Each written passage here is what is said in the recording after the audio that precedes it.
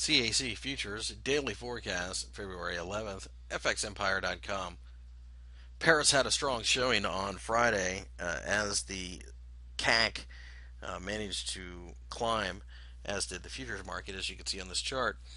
And the fact is that the 3,600 euros level has offered support uh, yet again, and this, of course, was a significant breakout point in this market.